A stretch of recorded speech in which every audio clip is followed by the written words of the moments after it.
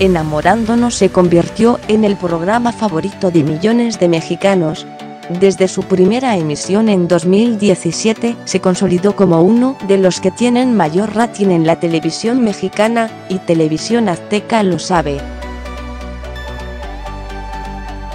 Por esa razón, la televisora busca mejorar día a día su transmisión, y de esa forma seguir siendo el consentido de las familias de México. El programa ha contado desde sus inicios historias de amor llenas de polémicas, alegrías, tristezas, peleas, llantos, celos, y hasta situaciones íntimas. No obstante, Enamorándonos sufrió uno de los cambios más importantes en su corto tiempo al aire, pues Magda Rodríguez, la exproductora del programa, decidió dejar el reality y cambiar a la televisora rival, Televisa. Desde ese momento, Enamorándonos busca mantenerse en el gusto de sus millones de televidentes y en el camino para encontrar la fórmula correcta, decidió incluir un nuevo tipo de amor.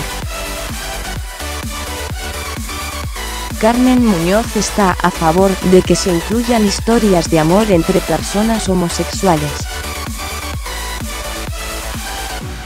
La propuesta de incluir a personas homosexuales surgió después de que Carmen Muñoz expresó ante los ejecutivos de Televisión Azteca su deseo porque el programa fuera incluyente y tuviera más diversidad.